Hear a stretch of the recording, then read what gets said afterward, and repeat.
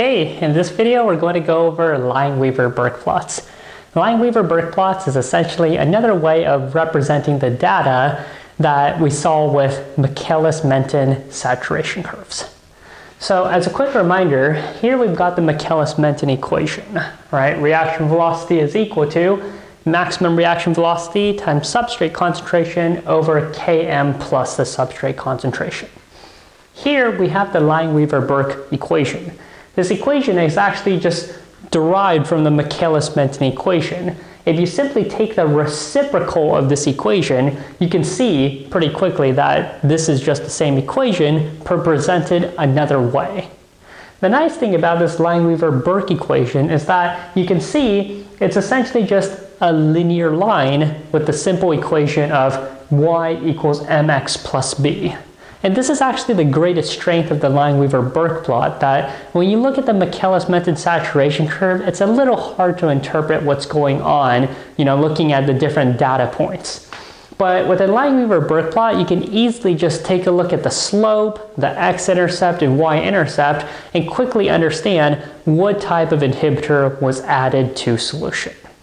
So to note, the slope is equal to km over Vmax, the x-intercept is equal to negative 1 over km, and the y-intercept is equal to 1 over Vmax.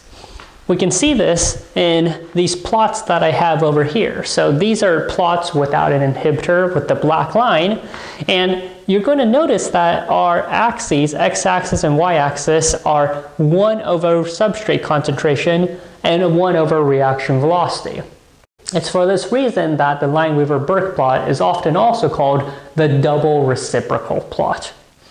Now, you have to be a little careful when you're reading this plot to understand what's going on. So 1 over substrate concentration means that if you increase the substrate concentration, you get a smaller value because you're dividing by a larger number. So you're increasing substrate concentration as you go to the left of this graph. Same with reaction velocity. A greater reaction velocity means you're dividing by a larger number. So increasing reaction velocity is going down the y-axis. And combined, this should make sense because if you increase the substrate concentration, you expect an increase in reaction velocity, which we can see as you go left and down, that's what the shape of the curve is.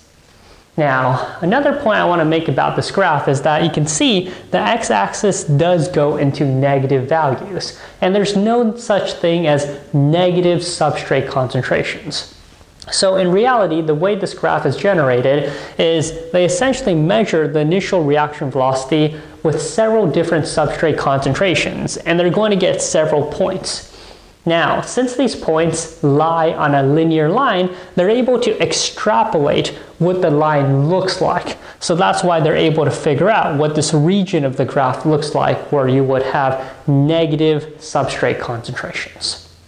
Now, as I mentioned, the x-intercept here, that's equal to negative 1 over km. Our y-intercept here, that's equal to 1 over v max. So let's just note this in here. We have negative 1 over km, and we have 1 over Vmax.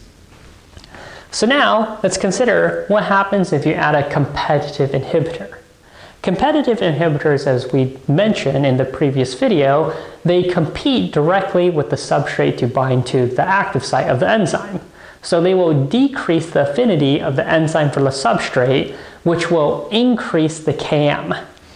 If you increase the value of the Km, then you're going to be dividing by a larger value. If you divide by a larger value, then you get a smaller magnitude for the number. So that means with a competitive inhibitor, our x-intercept is going to shift closer to zero. So this can be your inhibitor. It's new Km. And we also know that the competitive inhibitor does not affect the maximum reaction velocity, so the y-intercept is unchanged. So you get a graph that looks like this. You have an increase in the slope, a decrease in the x-intercept or a shift of the x-intercept to the right, and no change in the y-intercept. Let's now take a look at uncompetitive inhibitors. Again, right here, the y-intercept is the Vmax, the x-intercept is negative 1 over km. As we described, uncompetitive inhibitors are going to increase the affinity of the enzyme for the substrate. So that means the Km is going to decrease. So if you're dividing by a smaller number, then you get a larger value. So a more negative value, so that would mean that our Km would shift our x-intercept to the left with the inhibitor. At the same time, we know that the uncompetitive inhibitor also decreases the maximum reaction velocity. So again, if you're dividing by a smaller value, you get a larger y-intercept value. So here, we can say would be the Vmax with an uncompetitive inhibitor. And what you can appreciate with uncompetitive inhibitors is that you actually end up with a parallel line. So uncompetitive inhibitors give you parallel lines to the original graph where both the x and y intercepts have changed. Now, we can't draw a graph for mixed inhibitors because as we described in the last videos, the Km of mixed inhibitors is variable depending on the specific inhibitor being used. However, we can talk about non-competitive inhibitors because non-competitive inhibitors, we say that they have a decrease in the Vmax, but they do not affect the Km. So we know that our x-intercept shouldn't change, but since Vmax is decreasing, we're going to get a larger value on our y-intercept. So this is going to be what the graph looks like with inhibitor.